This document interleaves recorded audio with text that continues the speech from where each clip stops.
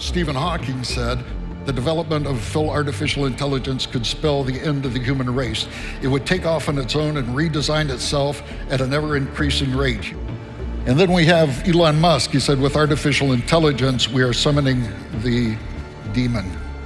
These are pretty smart guys that are assuming this, but it's all based on a foundation of materialism. AI is neither good nor bad, it's a tool. It's like electricity, it's like any other tool you use. AI will never be creative, understand, write better software, experience qualia. AI supports the enduring truth of human exceptionalism. You are non computable. Artificial intelligence will never replicate you.